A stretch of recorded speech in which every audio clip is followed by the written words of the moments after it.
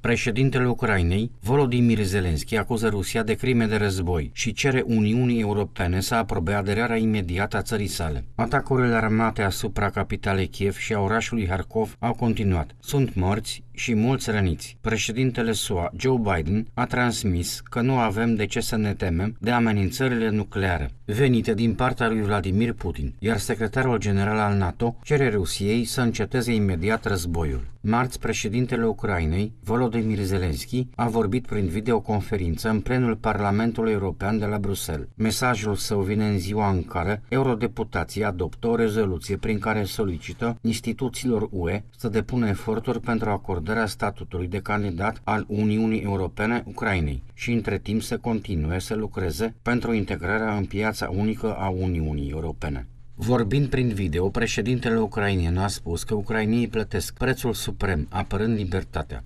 Ministrul rus al apărării, Sergei Shoigu, a spus că Rusia va continua operațiunea militară specială, așa cum este numită de Kremlin, invazia în Ucraina, până la atingerea obiectivelor stabilite. Dacă președintele Ucrainei a fost aplaudat în scenă deschisă, în Parlamentul European, ministrul de externe rus, Sergei Lavrov, a fost lăsat să vorbească singur, după ce a cerut retragerea armamentului nuclear american din fostele țări URSS.